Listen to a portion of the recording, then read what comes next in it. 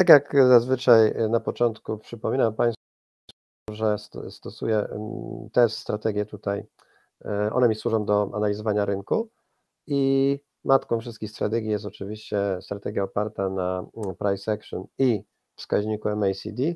Dużo osób już do mnie się zwraca, Mr. McD. E, całkiem przyjemna ksywa. E, tak, MACD jest, jest stanowi podstawową, podstawowy wskaźnik we wszystkich moich strategiach. E, kiedy Magdi nie mam na wykresie, e, tracę orientację, tak bym powiedział. Nie, no oczywiście można bez wskaźników handlować, ale w moim przypadku Magdi okazuje się bardzo przydatny i skuteczny. E, co to jest MACD? Już wiele razy mówiłem. Price action, co to jest price action? To jest po prostu badanie formacji tworzonych przez świece japońskie. Ja głównie zajmuję się formacjami jednoświecowymi, czyli pinbarami, i dwuświecowymi i wśród tych dwuświecowych e, najbardziej interesującymi mm, dla mnie są inside i outside bary, czyli formacje tego typu. I dzisiaj pokażę Państwu e, na przykładach na żywo za chwilę, jak takie formacje e, znaleźć i, i jak je określić, czy one są mm, warte rozgrywania i czy można przystąpić do otwierania zleceń. Moim zdaniem E, wchodzenie głębiej w formacje, które mają kilka świec i tworzą przedziwne, często mają przedziwne nazwy, e, mija się z celem, dlatego że tak naprawdę interesuje nas końcówka tego, co się dzieje, czyli ostatnie dwie, trzy świece, żeby móc ewentualnie wyciągnąć jakiś wniosek, co się stanie dalej. A te formacje, o których wspominam, te inside i outside bary, one na wykresach wyglądają po prostu w ten sposób, tak? To jest inside bar, czyli druga świeca jest mniejsza od pierwszej, mieści się w zakresie tej poprzedniej e, i tu świeca wybijająca, która e, jakby inicjuje nasze zainteresowanie tą parą i e, również z reguły inicjuje otwarcie zlecenia. Tutaj mamy inside bar trochę bardziej rozbudowanego, bo tutaj tych inside barów jest więcej, jest jeden, drugi, trzeci i dopiero czwarta świeca jest świecą wybijającą, ale zawsze najważniejsza dla nas jest fakt, że w ogóle taka formacja powstała, czyli duża świeca i tam jakaś jedna czy więcej małych i potem ta świeca wybijająca. I to są y, w zależności od y, miejsca, w którym taka formacja się y, pojawi, jest ona bardziej lub mniej wartościowa. Najbardziej wartościowe są formacje takie, których w przypadku, kiedy planujemy wejść w, w pozycje krótkie, czyli w tak zwany sell, to jest, e, ważne jest maksimum. Jeżeli maksimum świecy tworzącej formację znajduje się ponad poprzednimi szczytami dosyć znacznie, nawet jest oddalone od tych szczytów, to wtedy e, taka formacja ma e, dla mnie znaczenie, jest wartościowa w sensie, że daje możliwość dosyć interesujących spadków. Natomiast jeżeli ta formacja występuje nisko, czyli spojrzymy tu w lewo i E, widzimy, że niedawno świat, e, rynek był wyżej, to taka formacja, owszem, ona też może dać e, interesujące spadki, ale mm, zawsze wolę te formacje, które występują wyżej. To, I to samo dotyczy również formacji outside barowych, czyli formacji, które występują, występują na szczytach, czyli formacja tego, formacje tego typu są dla mnie interesujące. Jeżeli widzę, że pojawia się objęcie Bessy albo outside bar, to te nazwy są bardzo różne, są angielskie, polskie, wszystkie znaczą dokładnie to samo, że ostatnia świeca na wykresie jest świecą, która mm, objęła swoim zakresem poprzednią. Jeżeli to jest świeca spadkowa, to nazywamy to objęciem Bessy, jeżeli jest to świeca wzrostowa, objęciem Hossy albo wzrostowym outside barem, spadkowym outside barem.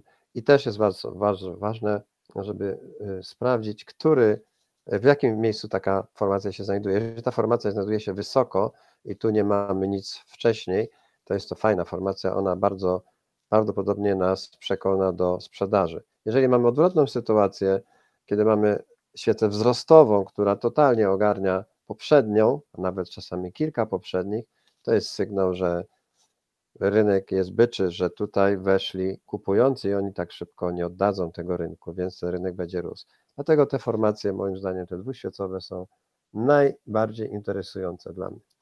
Dobra, teraz e, e, parę słów na temat tego, co się będzie działo dzisiaj. To był tylko taki krótki, teoretyczny wstęp dla osób, które ewentualnie nie znają jeszcze tej strategii. Można się z tą strategią zapoznać.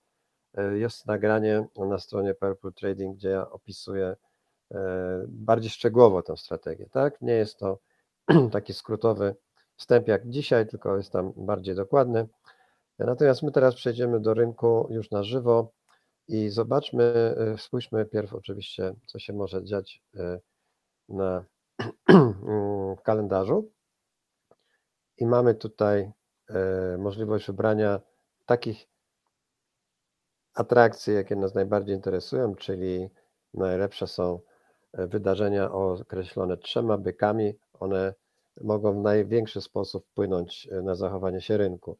No i mamy środę i mamy, jak już widzimy za sobą, mamy decyzję o stopach procentowych, o której za chwilę mm, porozmawiamy i zobaczymy, jak e, rynek zareagował na te stopy procentowe, podwyższone o 50 punktów bazowych, czyli zgodnie z oczekiwaniami. I spojrzymy e, na to, co nas czeka. Czeka nas e, o godzinie 20 protokoły z posiedzeń FOMC, tak zwane minutes. I co one są? Co to znaczy protokoły, co to znaczy minutes? To są, to jest spisane, jest to w formie spisanej przebieg konferencji FOMC. FOMC to jest e, organ, e, którego jakby organem wykonawczym jest Fed. FOMC to jest po prostu zbiór gubernatorów banków z, z wielu stanów, z wielu okręgów i oni debatują na temat, co ewentualnie z monetarnej polityce, polityce monetarnej zmienić. I to posiedzenie trwa dwa dni, zaczyna się we wtorek, kończy się w środę po południu i potem Fed wydaje, podaje e, do wiadomości, co ten komitet wolnego rynku e, zadecydował. E, I te protokoły, mm, one są dosyć szczegółowe, w związku z tym to, co Powell mówi zaraz po ogłoszeniu decyzji i potem ta konferencja, która jest pół godziny później, no to wiadomo, to jest jakby świeża informacja. Natomiast tutaj będziemy mieli bardziej szczegółowe, poznamy kto był za, kto był przeciw, jakie są ewentualnie propozycje na przyszłość. W związku z tym ten nie będzie może takiej zmienności jak po typowym, e, po, po, po typowej decyzji Fedu, która była dwa tygodnie temu, ale też e, jak rynek zacznie się wgłębiać i gdzieś będzie jakiś akcent bardziej byczy albo bardziej, e, bardziej gołębi, to ten rynek będzie troszeczkę też się ruszał. Sprawdzałem, są to ruchy zazwyczaj, w zależności od oczywiście waluty, ale najczęściej jest to nam do 30-40 pipsów, chociaż bywały takie sytuacje, kiedy rynek zdecydowanie po mm, poznaniu protokołów ruszył w jednym kierunku i trzymał ten trend przez najbliższe, przez kolejne dwa tygodnie, więc no warto, warto na pewno zwrócić uwagę, że od 20 e, spojrzeć w komputer i zobaczyć na wykresach, czy coś się nie wydarzyło, co mogłoby zmienić nastroje. E, tu mamy taki mm, Fed Tool, o którym ja wspominałem już wcześniej. E, mm, jest to bardzo interesujące narzędzie. Ja wysłałem na, e, na Telegrama dzisiaj takie, taką,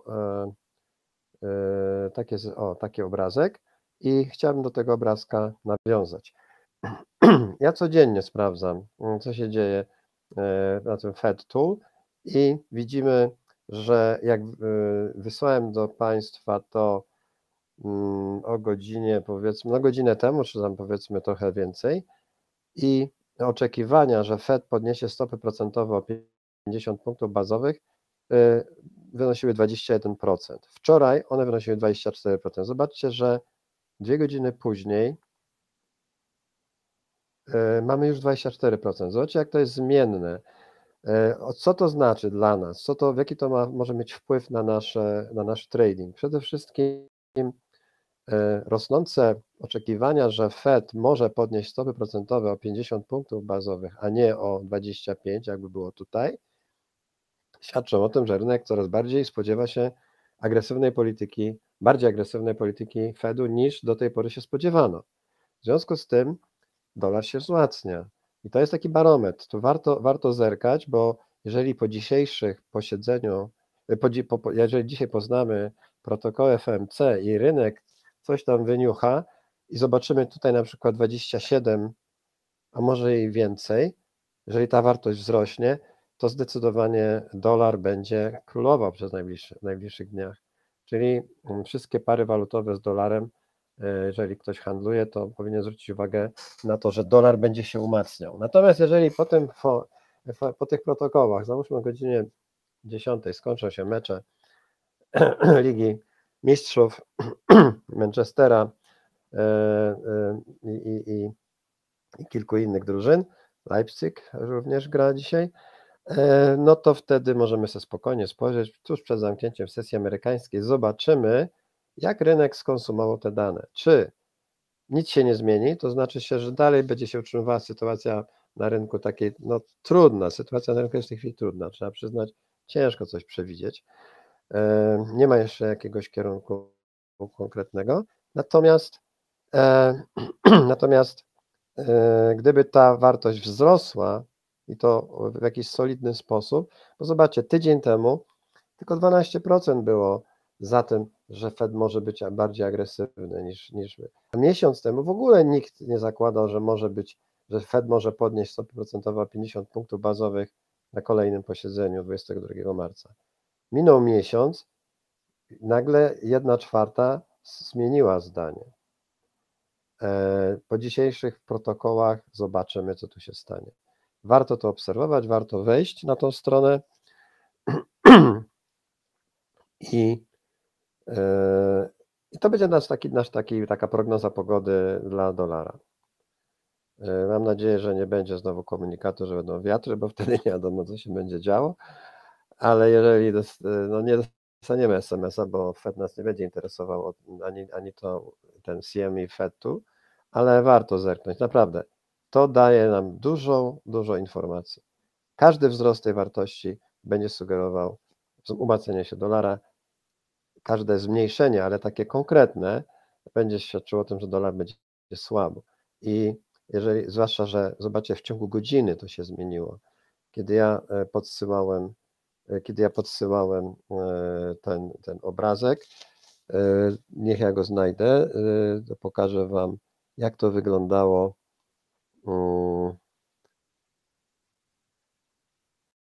gdzie ja to mam? Tutaj to będzie w lutym chyba. Tak. To jest Fed i on to jest y, z godziny 13, tak? Zaraz się otworzy.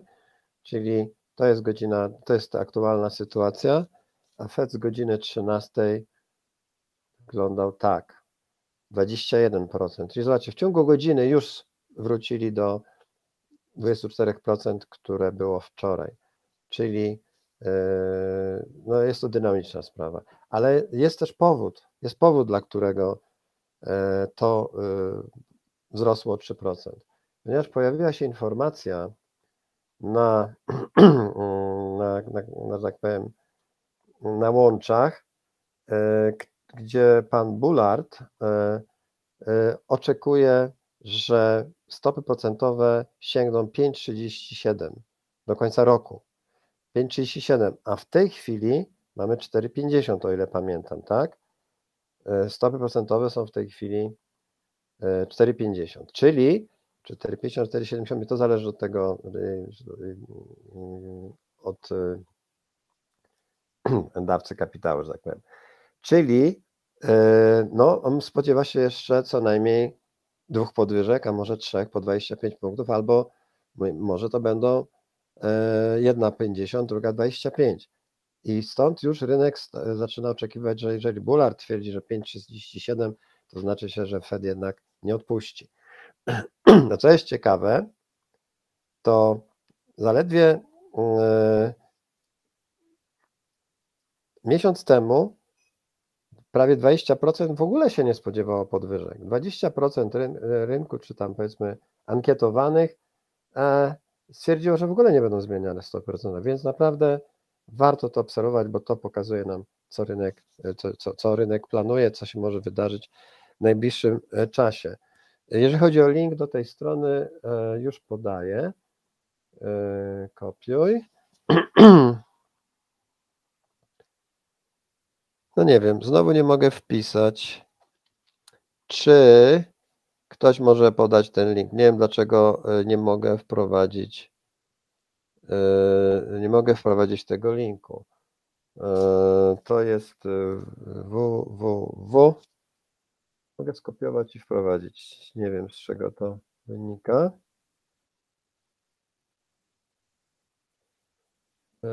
Group.com i to tam na. O, już ktoś wkleił. Nie wiem, dlaczego ja nie mogę wkleić tego. Ja tylko mogę wpisać, nie mogę wkleić. Dobra, e, w każdym razie pan Robert już y, podał i e, no i to warto, warto, warto tutaj zaglądać.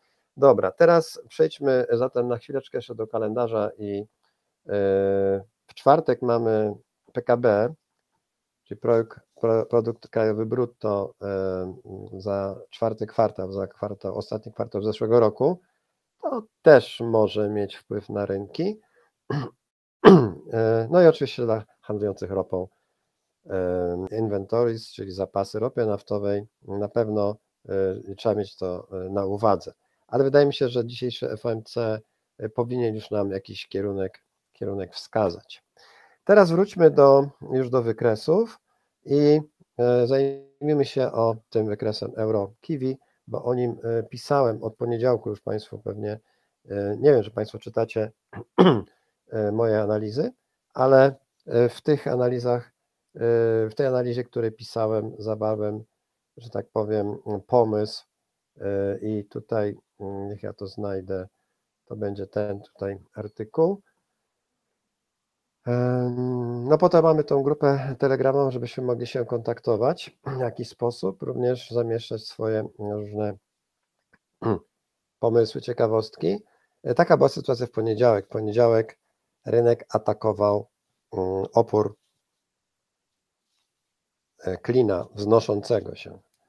I to jest, to jest e, formacja, która zazwyczaj wybija dołem. Mówię zazwyczaj, bo procentowo jest przyjęte, że to jest 70 do 30%. Przepraszam, widzę tam było pytanie e, jeszcze, e, które mogłem pominąć, e, jeszcze chwileczkę spojrzę. Czy działa na wszystkich timeframe'ach? Domyślam się, że pan Andrzej się pytał o, o te formacje inside outside barret. Jak najbardziej wysokie timeframe'y. Tak, daily, H4, nawet godzinówka, ale poniżej raczej już nie, stosu- nie, nie, nie patrzyłbym na formacje, bo ich jest tyle, że tak naprawdę 50-50 one działają. Wracając do analizy, e, tutaj zauważyłem e, ciekawą sprawę. E, na tym oporze tego klina wnoszącego rynek zaczął mieć problemy. I te problemy troszeczkę mi przypominały sytuację z grudnia.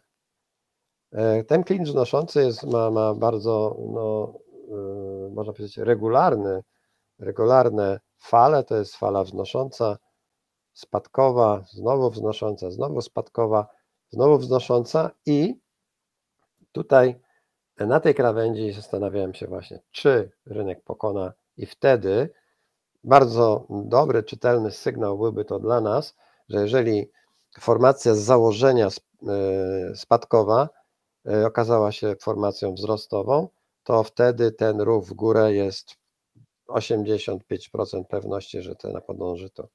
Ale jeżeli ten poziom się nie podda, to jest prawdopodobieństwo spore, że cena podąży ponownie do tego wsparcia tego klina. I e, to był poniedziałek. Jeszcze w poniedziałek sytuacja nie była na tyle klarowna, e, żeby od razu się w to ładować, ale już, już przymierzałem się do tego, zwłaszcza, że jak spojrzałem na na wykres e, czterogodzinowy, który mamy tutaj, to zauważyłem, że mm, te ostatnich parę e, naście nawet, paręnaście świec, to była konsolidacja. To nie był inside bar, to nie był outside bar, to była konsolidacja poparta dywergencją spadkową. E, czyli no jakby na szale e, e, przeważało na szali jednak wersja spadkowa. I ona tutaj, głównie chodziło mi o to, że była ta dywergencja, która zazwyczaj, prędzej czy później, ale prowadzi do spadków. No ale niestety, no, trzeba zawsze przyjąć też opcję niesprzyjającą nam, że jednak to wybicie nastąpi. To ja sobie postawiłem taką granicę, że jeżeli cena znajdzie się ponad tym klinem na stałe, czyli pojawi się świeca e, o tego typu tutaj i cena się zamknie. Mówimy w tej chwili o świecy dziennej, tak?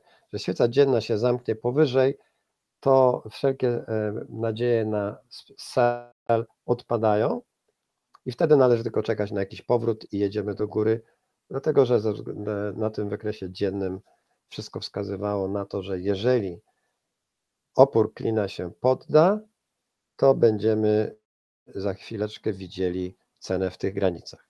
Czyli tak naprawdę ten setup y, mógł zadziałać w obie strony. Bardziej mi pasowały spadki tutaj, ale też rozpatrywałem ewentualność, że jeżeli będę sprzedawał i mnie tu wyrzuci, to dołączę y, dosyć szybko, będę się starał dołączyć do wzrostów, bo to mm, ta strefa podaży bardzo atrakcyjna tutaj była. I to była sytuacja z poniedziałku. Natomiast później, y, jak, jak się potoczyły losy tej pary dalej, to już ja tylko tu jeszcze wspomnę, że ta dywergencja spadkowa jakby na, nastrajała mnie e, prospadkowo, ale też zaznaczyłem, że jeżeli jednak e, cena e, się usadowi powyżej klina, to 1,70 czy 50 jest, jest na radarze. I teraz wchodząc już do, wchodząc na wykres, jak to wygląda w tej chwili, wygląda w tej chwili tak. Opór klina się jednak nie poddał, opór klina się broni i mm, zobaczcie, co się dzieje na MACD. MACD dzisiaj po raz pierwszy od tygodnia sygnalizuje spadki. Co się działo ostatnim razem e, na tej parze, jak to, jak, jak to się wszystko, jak się to e, zachowywało. Mianowicie, kiedy pojawiły się, e, pojawił się MACD spadkowy, to mieliśmy taką korektę. MAC się pojawił spadkowy dosyć późno. On się pojawił dopiero po jakimś czasie. Nie tu, nie tu, dopiero tu ale też nie było żadnej formacji, więc tutaj zastosowanie strategii price action MACD e, no nie miało miejsca, nie miało racji bytu. Tutaj natomiast pojawiło się coś bardzo dziwnego, bo pojawiła się, to jest, te dwie świece tworzą formację objęcia hossy, czyli teoretycznie, jeżeli to jest objęcie mm, hossy, to powinno pchnąć cenę w górę. Więc tym bardziej byłem zaniepokojony, mając już otwartego sela tutaj, że to może się e, źle dla mnie skończyć i, wyrzuci mnie na stop losie. Ale w międzyczasie mieliśmy, konkretnie dzisiaj w nocy, mieliśmy decyzję Banku Nowej Zelandii o tym, że podnoszą stopy procentowe. Jeżeli na chwileczkę jeszcze wrócimy do kalendarza, to konkretnie to wydarzenie tutaj e, pomogło. Konkretnie mi, nie wiem jak Wam, ale mi pomogło, bo okazało się, że ta decyzja o podniesieniu stóp procentowych do 4,75 spowodowała, że kiwi, tak zwane kiwi, czyli nowozelandzki dolar się umocnił. Wracając do wykresu, dzięki temu udało, zamknąłem dzisiaj zlecenie na plusie. E, zamknąłem je może na plusie, chociaż był to tak naprawdę stop loss, e, bo w tym poście, który tu wrzuciłem Państwu E, pod koniec e, mm, to było to. Nie, to było e, w komentarzach wtedy, tak? Cena już była tutaj, już było plus 35, ale nie miałem pewności, czy cena nie zawróci i wyrzuci mnie, z, że tak powiem, z rynku, więc na wszelki wypadek stop lossa przesunąłem na plus 10. No i faktycznie Chwilę później cena zawróciła, zamknęła mojego stop lossa i poszła wyżej. Ja tworzyłem kolejne zlecenie. E, to kolejne zlecenie to jest tutaj. I dlaczego otworzyłem to zlecenie, już mówię. Także na razie mam, że tak powiem, zaklepane już 10 pipsów. A co jest jeszcze ciekawe, to otworzyłem to zlecenie wyżej niż zamknięte zostało tutaj, czyli jakby zarobiłem kolejne 10 pipsów, bo wszedłem wyżej niż gdybym cały czas trzymał to zlecenie, y, y, które otworzyłem y, wczoraj. I tutaj można powiedzieć, że powód otwarcia zlecenia oczywiście pierwsza czerwona, czyli ta moja strategia skalpowa, gdzie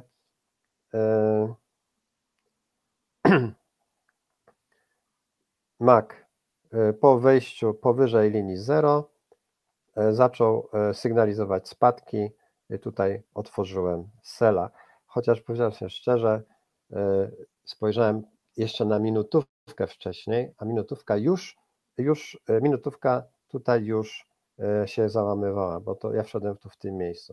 Jak już widziałem, że minutówka się załamuje, to tu dołączyłem ponownie do tego rynku i nadal jestem prospadkowy. Dlaczego jestem prospadkowy, pomimo że na razie rynek tutaj tańcuje w tom i we w te? Przede wszystkim dlatego, że dzisiejsze FOMC nie będzie miało większego wpływu na krosy, czyli pary e, bez dolara e, nie, nie będą jakichś szaleńczych ruchów wykonywać, ponieważ e, one będą w podobnym, podobnym formie reagować do, do etka do mm, dolara, czyli EDEK do dolara, czy Kiwi do dolara, będą mniej więcej tak samo reagować. E, albo pójdą w górę, albo pójdą w dół. Czyli cross jest w miarę bezpieczny przy takich danych. Drugim powodem, dla którego mam zamiar to trzymać, jest, nie będę zamykał tego przed Fedem, chyba że będzie to, to mojego take profita, no to wtedy siła wyższa. Tutaj to, co widzę na Macu, e, podoba mi się bardzo bo mak czerwony, czerwony mak, nawet dziwnie się skojarzyło, to y, jest y, sygnał do spadków.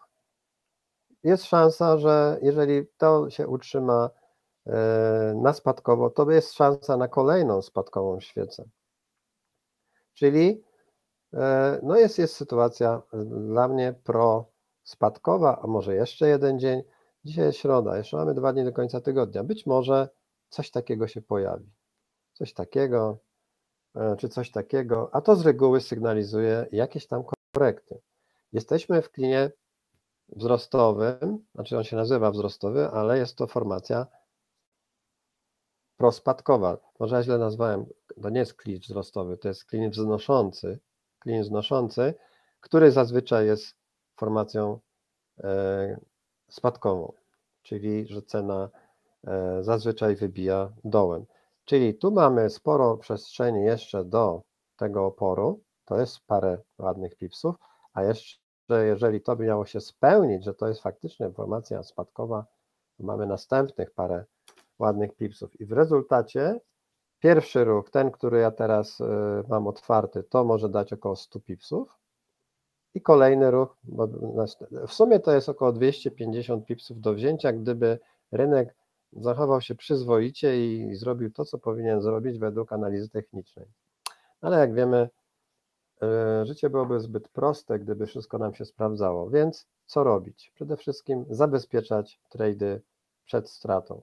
Jeżeli okaże się, że już jesteśmy na plusie, może nie 10, ale niech będzie, że gdzieś dojedziemy tutaj w te rejony, zabezpieczyć się plus 10. Zawsze mieć lepiej jest plus 10, które ja już tu mam dzisiaj skasowane, niż nie mieć tych plus 10. Gdybym nie zamknął tego zlecenia wtedy, na tej cofce, to bym był w tej chwili dopiero miał plus 10, a tak już mam 10 i 10 już mam plus 20. To jest pierwsza sprawa. Zabezpieczenie zysku w trakcie e, ruchu. Oczywiście są różne teorie. Są teorie takie, że jak już otworzyłem zlecenie i mam target 150 pipsów, to trzymam do skutku. Ale ja wiem, jak to boli później, jak ze 100 pipsów nagle się zrobi minus, nawet minus 10, to też boli. Także tu y, to jest pierwsza sprawa. W tej chwili nie mam stop lossa jeszcze, e, więc trzeba tutaj tego stop lossa gdzieś zaplanować i patrząc realnie na zasięg tego trade'u, y, niech ja spojrzę na 5 minutówkę na początek. No wydaje mi się, że tutaj ten stop loss powinien być, nie? Czyli gdzieś go, gdzieś go tutaj, na razie go damy bezpiecznie w odległości, dosyć bezpiecznej odległości, ale tak jak wspomniałem, to jest około, ile to tu jest, 60-70 pipsów. Na razie mam taką sytuację. Natomiast jeżeli będzie mi się cena tu przebijała, to przesuwam stop lossa zdecydowanie do przodu, a jeżeli by pokonali minimum, to pod tą, tu stawiam, przesuwam stop lossa niżej, czyli będę tego stop lossa przesuwał, tu już będę miał plus 40, gdyby cena podążała. Ale dlaczego ten mój take profit jest, no w sumie nie jest duży? Dlatego, że zobaczcie na sytuację na godzinówce na przykład. Tu zaczyna, tu się pojawia już kolejna strefa popytu. Rynek z reguły robi coś takiego. Jeżeli rynek e, podąża w kierunku strefy popytu, bo tu jest popyt i nie wątpię, że tutaj będzie taka reakcja, tylko pytanie jak wysoka. Jeżeli byśmy sobie zaznaczyli to minimum i tą strefę popytu, to nie ma, to be, bez większych wątpliwości mogę powiedzieć, że cena gdzieś dojdzie tu w te rejony, zawróci i dopiero wtedy podąży. Rzadko się zdarza, żeby w jednym ruchu do kolejnej strefy popytu rynek y, dotarł. Z reguły jest jakieś takie coś. I dlatego wolę się bronić stop lossem, że, bo gdyby to cofka miała być wyższa, po co ja mam tracić? Ale docelowo to można powiedzieć, że ta strefa popytu jest celem. O ile oczywiście rynek zachowa ten kierunek spadkowy. E, Andrew pisze, nie ma stop lossa, a jak Putin przetnie kable, no to już jest stop loss. Już jest stop loss i mam nadzieję, że ja jest, mam łącze satelitarne, więc e, kable mi tak bardzo nie straszne, gorzej z prądem. Dobra, teraz yy, yy, taka no, co mi tu wyrzuca cały czas? No, zamknąć to, zamknąć to. Zamknąć to. Co tu się dzieje? E, para taka, no można powiedzieć, e, z tej rodziny e, crossów Audi NZD. Tutaj też jest bardzo ciekawa sytuacja, zobaczcie, bo tutaj mamy bardzo czystą, klarowną reakcję na wybicie z takiej, no nazwijmy to flagą, e, kanałem znoszącym, ale zobaczcie, jak zdecydowane jest to wybicie. I teraz odnosząc e, tą sytuację do sytuacji, które mieliśmy wcześniej do czynienia, ponownie widzimy, że no, wyraźnie no, dolar nowozelandzki dostał troszeczkę pary, ale zobaczcie, może jednak tak zrobię. Zobaczcie, co tu się działo też był kanał znoszący. Co prawda to był kanał znoszący długoterminowy, ale po jego wybiciu bardzo technicznie cena podjechała pod pokonane wsparcie, które stało się oporem i cena powędrowała niżej, tworząc takie kaskady. Teraz może być trochę za późno już, żeby tutaj wejść w zlecenie, ale gdyby cena podjechała pod tą półkę, dlaczego nie? Uważam, że tutaj e, no jest trochę późno, żeby wchodzić w sela. Ja tutaj już bym się trochę obawiał. E, zresztą spójrzmy, co my mamy, bo my mamy tutaj parę rzeczy otwartych niestety. E, nie wszystkie są dochodowe. Tu mamy tego euro. Mam jeszcze jena i złoto. To są stare zlecenia sprzed tygodnia. To potem się tym zajmiemy. W każdym razie ta para dobrze rokuje na spadki. I tutaj bym e, wyznaczył taki poziom, który jest poziomem wsparcia oporu, który może być pierwszym celem. Więc jeżeli cena już się będzie zbliżała tutaj do tego poziomu wsparcia oporu, e, tu już musimy uważać, bo ona może posłużyć jako odbicie. A dlaczego może posłużyć jako odbicie? Dlatego, że tu mamy do czynienia z odwróconym RGR-em. Ja tego RGR-a narysuję, tylko ja go trochę rozciągnę, żeby on był lepiej widoczny. I użyję może tej kreski tutaj. To jest linia szyi tej formacji. A, zasad, nie łammy zasad. Ja zawsze linię szyi rysuję na zielono. To jest linia szyi formacji odwróconego RGR-a. I musimy się liczyć z tym, że RGR-y są zazwyczaj formacjami odwracającymi trend. Czyli jeżeli mam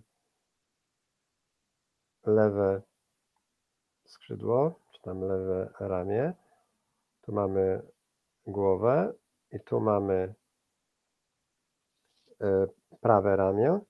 Cena po dotarciu do tego poziomu, który jest zdecydowanie poziomem wsparcia i oporu, ten tutaj, ten gruby, i linii szyi utworzy nam, utworzy nam punkt, tak zwany punkt konfluencja, wsparć, dlatego że ta linia szyi będzie wsparciem tak samo jak ta linia pozioma. Przy konfluencji wsparć bardzo często następuje odbicie, więc tutaj już niewiele zostało. Max jest wspierający nas, Max nas wspiera, być może będą te spadki dalej, ale gdybym planował teraz sela, już tutaj bym z tego wychodził, bo tu może nastąpić odbicie w drugą stronę.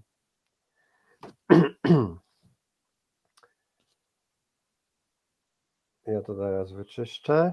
To wygląda teraz trochę bardziej tak porządnie, a tutaj jeszcze zaznaczę raz jeszcze tą linię szyi, która przebiega mniej więcej tak. I także musimy się liczyć z tym, że tu może nastąpić jakiś zwrot akcji. E, widzę, że jest pytanie o strefy. Aha, e, pan Marcin pyta o wskaźnik e, supply and demand dla MT5. Więc sytuacja jest taka, ten wskaźnik już jest. Jeszcze nie jest on, że tak powiem, dopuszczony do użytku powszechnego.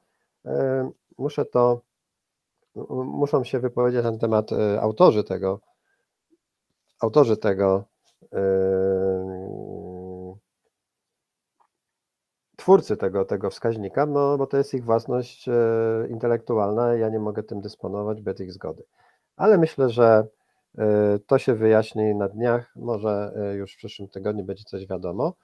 A jednak to taki wskaźnik, stworzyć taki wskaźnik to wymaga ileś tam godzin pracy i myślę, że no, absolutnie panowie, którzy to stworzyli, czyli pan Jacek i pan Krzysztof, muszą się wypowiedzieć na ten temat.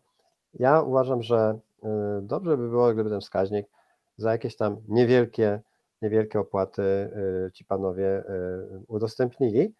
Y, zaproponowałem im, żeby założyli sobie profil na MQL5, tam gdzie ludzie, programiści sprzedają swoje, swoje mm, produkty i myślę, że parę dolarów, gdyby każdy poświęcił na pobranie tego wskaźnika, to byłoby taki miły akcent w formie takiej rekompensaty dla tych panów za, za czas i za pracę, i za przede wszystkim wysiłek, e, no, wkład intelektualny. Ale to, to jeszcze będę o tym rozmawiał, z, znaczy konkretnie rozmawiam z panem Krzysztofem, a pan Krzysztof dalej e, z Jackiem tam to uzgodni na pewno. Ja daję rzeczy gratis, dlatego że to są rzeczy, które ja już używam od wielu lat i one e, jakby dla mnie już ich wartość jest materialna żadna, bo to była to jest praca, którą wykonałem ileś tam lat temu. Natomiast to pod MT5 to już wymaga jednak pewnej wiedzy, pewnej, pewnej mm, umiejętności, które ja nie posiadam, dlatego bardzo sobie cenię, że pan Krzysztof nam tutaj w wielu sytuacjach pomógł z tymi rzeczami. Y, na chwileczkę wrócimy jeszcze do y, EuroKiwi. Jak widzimy tutaj na razie walka trwa, jeszcze nie wiadomo co i jak. Na razie tak zostawiamy. Teraz, y, jeśli chodzi o strefy, kiedy te strefy są, jak, te, jak oceniać te strefy pod kątem e, przydatności do, do handlu. Przede wszystkim strefa, która się pojawia, ona powinna występować w miejscu, gdzie następuje gwałtowna zmiana kierunku. I żeby to lepiej przebadać, to oczywiście zrobimy e, coś takiego, czyli zmniejszymy sobie zmniejszymy sobie mm, obszar, znaczy zagęścimy te, te świeczki i analizując e, strefy, od razu widzimy, że te strefy, które dawno nie były, że tak powiem, użyte, one będą Pan Marcin pisze, nie chciałem. Nie, nie, to, to ja nie mówię do. Nie, to nie jest do pana, panie Marcinie. To jest ogólnie mój taki pomysł, ale zobaczymy, co wymyślą e, panowie, którzy stworzyli ten wykres, ten e, wskaźnik, bo e, ja już go testowałem i jest, jest ok. Zwłaszcza, że tam panowie dodali jeszcze ciekawe, ciekawe funkcje, których mój wskaźnik na MT4 nie posiada. Jest możliwość wybrania sobie odpowiedniego timeframe'u, dla którego mają być pokazywane te strefy. Nawet jeżeli przełączamy na wyższe timeframe'y, to ta strefa powiedzmy z 5 minutówki będzie pokazywana na kolejnych również.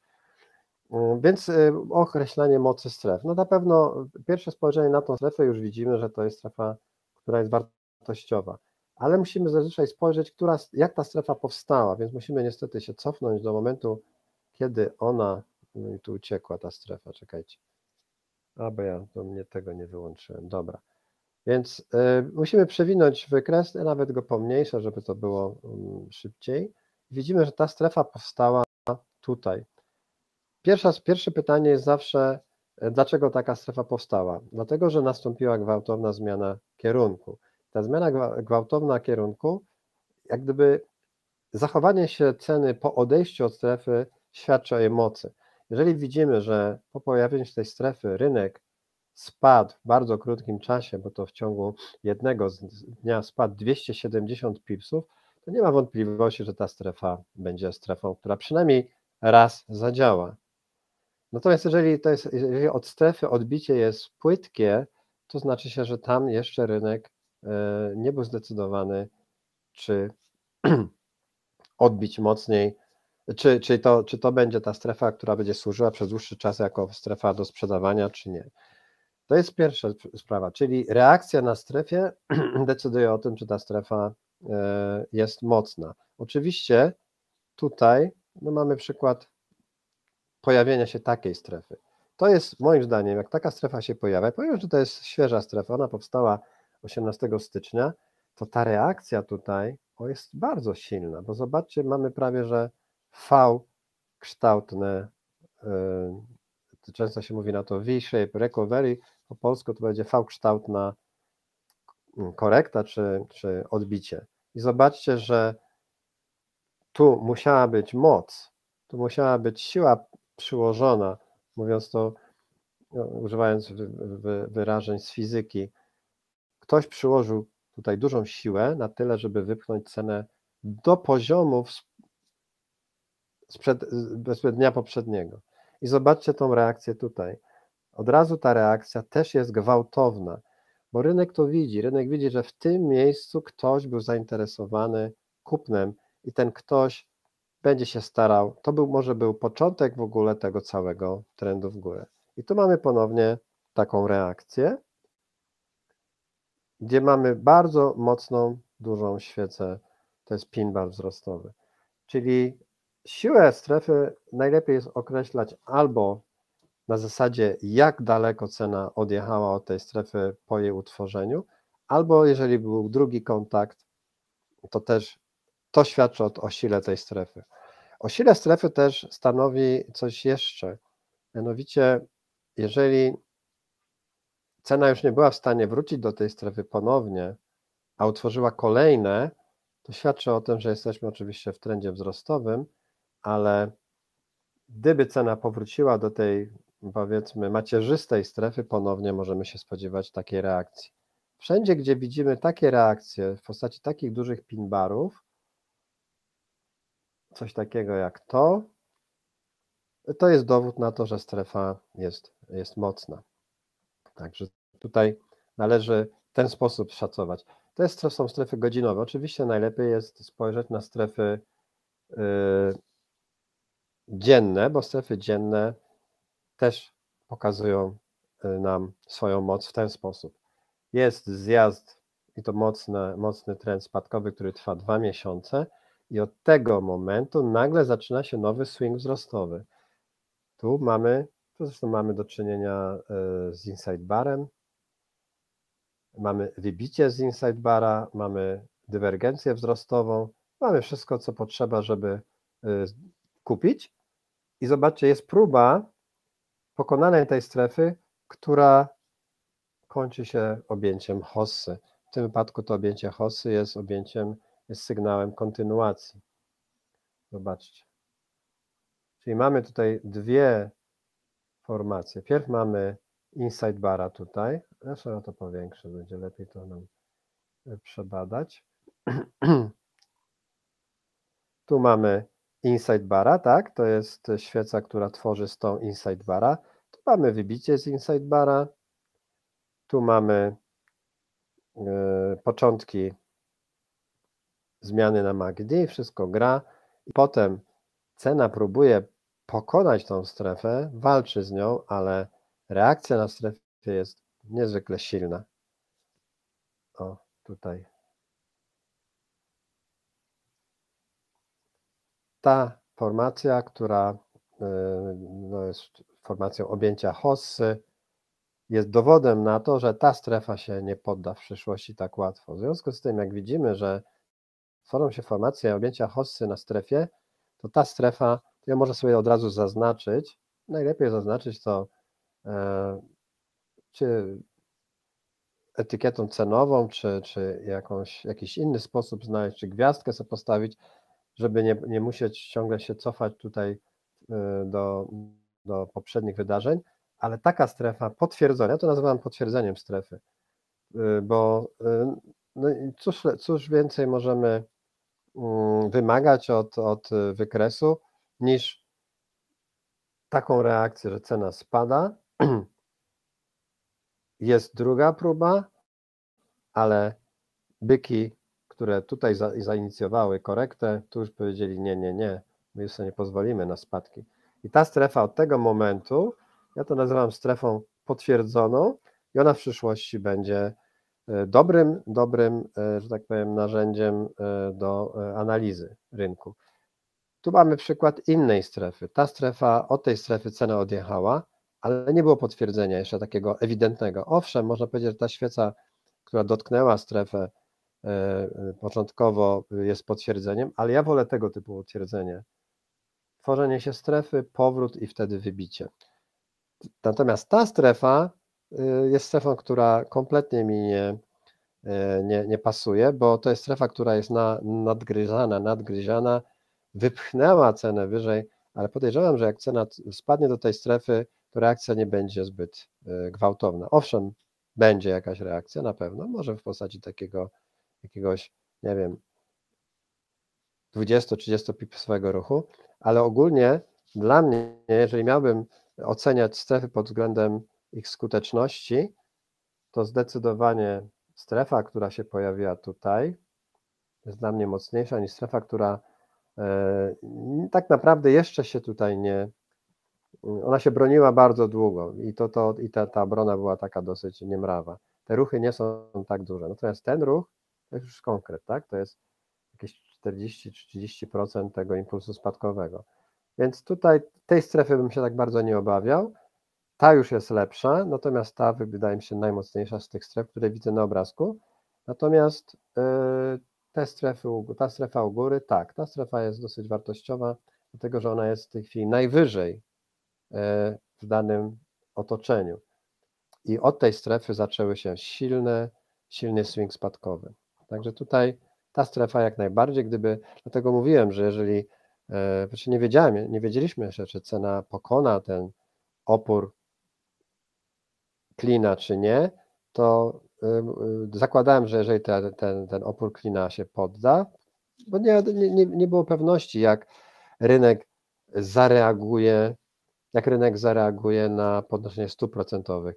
Z tym z nowozelandzkim dolarem jest bardzo śmieszne. Bardzo często ta reakcja jest przeciwna od spodziewanej. Na szczęście dla mnie przynajmniej e, ta reakcja była taka, jak, jak chciałem, e, ale zakładałem pokonanie tego oporu, no to jest ewidentny hasło, jedziemy do następnej strefy. Ale moc stref e, zdecydowanie naj, najlepiej określać poprzez reakcję na strefę. Jeżeli jest po otworzeniu się strefy jest dosyć szybka reakcja prowzrostowa, to ta strefa należy do stref silnych. Również ta. Oczywiście można też patrzeć na strefy na niższych timeframe'ach, nawet na 5 minutówkach Ja też korzystam z stref na 5 minutówka, dlatego że one jakby wyznaczają mi kolejne e, poziomy stop lossów czy take profitów, nie? Tutaj akurat można powiedzieć, że tak naprawdę to powinien postawić take profit tutaj i liczyć na te 30 pipsów, wziąć swoje i, i z głowy. Ale ponieważ z, z dużego obrazka, a szczególnie z daily, gdzie mak jest spadkowy, widzę duże szanse na większe spadki, no to jakby pominąłem tą strefę, chociaż jestem świadomy tego, że cena, jak dotrze tutaj, to ona zrobi taki wist. Ale już mi się nie chce pilnować tego momentu, tu zamykać, potem otwierać kolejne. Zostawiam to, to nie jest duża, duża stawka, to jest 0,10. Niech to sobie tam leci, nie będziemy się tym y, rozdrabniać się na jakieś drobie y, szczegóły. Zwłaszcza, że mam już 10 punktów w zapasie, to, to mi daje jakąś taką komfort psychiczny, że nie muszę się tutaj przy tym spinać. Dobra, teraz pan Grzegorz pisze, czy można dodawać jakieś wskaźniki, jak RSI czy wolumen. To już jest kwestia, jak, jak, jak sobie mm, trader zażyczy, bo moim zdaniem każdy powinien mieć jakiś swój, swój zestaw narzędzi, które mu pomagają, e, pomagają w tradingu. E, tak jak wspomniałem na zeszłym wykładzie, e, Purple Trading przygotowuje platformę edukacyjną. Jest to coś takiego, trochę połączenie Discorda z Telegramem. Nie chcę tutaj zdradzać szczegółów, bo nie wolno mi chyba tego robić nawet, ale już tak zapowiadam, szykuje się bardzo fajne narzędzie. To będzie e, taki, tak jakby grupa telegramowa, która będzie, na której będzie kilku e, edukatorów, tak nazwijmy. E, oprócz mnie tam będzie jeszcze co najmniej cztery inne osoby. Są, wszystkie z nich są Państwu znane. I będzie można, że tak powiem, wchodząc na tą platformę, mieć dostęp do każdego z nas bezpośrednio do tego, co piszemy. W tej chwili na przykład E, e, Smart ma, SmartSend ma swojego telegrama, ja mam swojego telegrama. E, jeżeli ktoś chce zobaczyć, co się u mnie dzieje, musi wejść na mój kanał, ktoś musi wejść na inny, a tutaj będzie właśnie coś takiego jak Discord. Wszyscy będziemy w jednym miejscu i tylko kwestia wybrania. Zobaczę, co jest tam u Darka, zobaczę, co jest u SmartSempa, może zobaczę, co jest u Maćka. Momentalnie przenosi nas i wszystko się dzieje w obrębie jednej aplikacji, która również będzie działała na telefonie. Także, ale to mm, premiera nastąpi, podejrzewam, w czasie e, kawsów, które będą za miesiąc. Bo w tej chwili trwają, że tak powiem, prace mm, nad tworzeniem tej platformy, tam uzupełniamy materiały, ale naprawdę coś, czego na polskim rynku jeszcze nie widziałem. Naprawdę dobra rzecz. Sam jestem w to jakby zaangażowany i, i uważam, że to jest super sprawa. E, no właśnie, tam, e, co sądzę o wskaźnikach dedykowanych na Purple? Powiem szczerze, ja mam swoje wskaźniki, że tak powiem się ich trzymam i powiem szczerze, nie znam w tej chwili e, wskaźników, jakie są na Purplach. Może przy, zobaczę sobie w, w weekend, co tam jest. Ja jestem zwolennikiem trzymania się, że tak powiem, niezmieniania strategii w trakcie ich poznawania, a szczególnie e, zniechęcania się do strategii po kilkunastu nieudanych wejściach. A jeżeli już się okaże po 100 czy 200 zleceniach, że jednak to działa, to ja się przy tym trzymam i staram się nie szukać nowości. Te wskaźniki, które pan Krzysztof nam dopisał, to są wskaźniki, które nam pomagają. One, one nie mają wpływu na nasz trading. Przykładowo, jeżeli ja mam tutaj wskaźnik E, który mi pokazuje, kiedy e, mak e, zmieni się na spadkowy czy wzrostowy, to jest ta tutaj kreseczka zielona, ona akurat mi się pokrywa w tej chwili z czasem, ale może tutaj będzie łatwiej, na przykład o, tak, to jest poziom, przy którym mak znowu będzie spadkowy. To nie ma wpływu na mój trading, a to mi tylko informuje o pewnych rzeczach, które ja przedtem musiałem ręcznie sprawdzać, ale i tak cały czas podstawą jest ten dwukolorowy MACD. To jest jakby moje podstawowe narzędzie, e, z którego korzystam. I ostatnio zauważyłem dosyć fajna sprawa. E, przy, on bardzo fajnie działa na na pięciominutowych wykresach, na piętnastkach, te zmiany, które tutaj widzimy na Macu, szczególnie jak rynek jest taki niezdecydowany, pozwalają nam na podjęcie decyzji o kupnie czy sprzedaży. Ale to mówię, to jest taki scalping. Jeżeli byśmy na przykład skalpowali dzisiaj, czy tam wczoraj na parze, która jest niezdecydowana, są takie garby góra-dół, to wystarczyło tylko spojrzeć na MACD i zobaczyć, że on po dłuższym okresie z zielonego wszedł w czerwone i to ta świeca tu dokonała, otwieram sela i trzymam, nie wiem, biorę 5, 10, 15, 20 pipsów, w zależności od tego, co lubię, ale gdybym się trzymał tylko MACD, to zobaczcie, że e, ten okres, w którym cały czas byłbym w zleceniu sell, to jest tak, od momentu, kiedy się zmieniło na czerwone, to jest od tego momentu, do momentu, aż się zmieniły na zielone, tak? Czyli tu. Czyli tu. Czyli ja bym, e, patrząc tylko i wyłącznie na MACD, odrzucając wszelkie fundamentalne rzeczy, wszelkie newsy, wszelkie domysły, mm, tylko patrząc na to, to tu otwieram e, sell, a tu zamykam to sell, bo MAC już zaczyna robić się zielony. Czyli ten kawałek rynku wczoraj był do wzięcia tylko w oparciu o zwykły wskaźnik MACD, który pokazuje różnicę między dwoma średnimi. To było 60 pipsów. Dlatego ja nie sięgam już po jakieś nowe wskaźniki, bo uważam, że lepiej dopracować sobie technikę na tych, co już mamy, wskaźnikach, niż pakować się w coś nowego. Ostatni przykład tutaj. Kiedy Mac wyraźnie jest niżej niż pozostałe wszystkie garby, zobaczcie, że tak nisko Mac jeszcze nie był w ciągu ostatnich dwóch, trzech dni, to pojawienie się takiego zielonego słupka jest naprawdę sygnałem prowzrostowym. I ten słupek się pojawił w momencie, kiedy ta świeca się zamknęła chyba, tak? Tak, czyli nawet gdybym tutaj wszedł w ciemno na buy, to w maksymalnym wychyleniu miałbym 20 pipsów, co dla skalpera jest idealna sprawa. Także nie szukam jakby, powiem szczerze, nie mam mm, za bardzo mm, wiedzy na temat wskaźników, które są e, na, dedykowane przez Purple, bo nie miałem okazji ich poznać. E, pan Mariusz się pyta, czy wystarczy mieć konto na Purple, żeby tak, tam y, początkowo, o ile pamiętam, to przez pierwsze miesiąc czy dwa w ogóle będzie absolutnie y, dostęp dla wszystkich, kto tylko sobie będzie miał ochotę tam zajrzeć.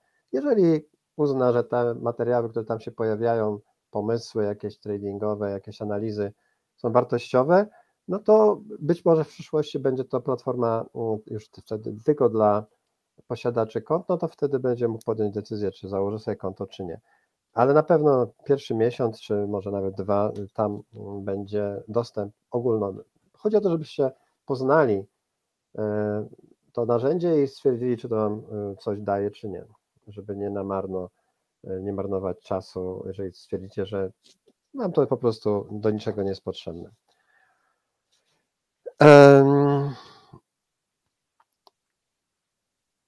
Dobrze, teraz, y, a patrzę, że już godzina minęła. No dobra, no to na ten moment y, y, kończymy dzisiejsze spotkanie.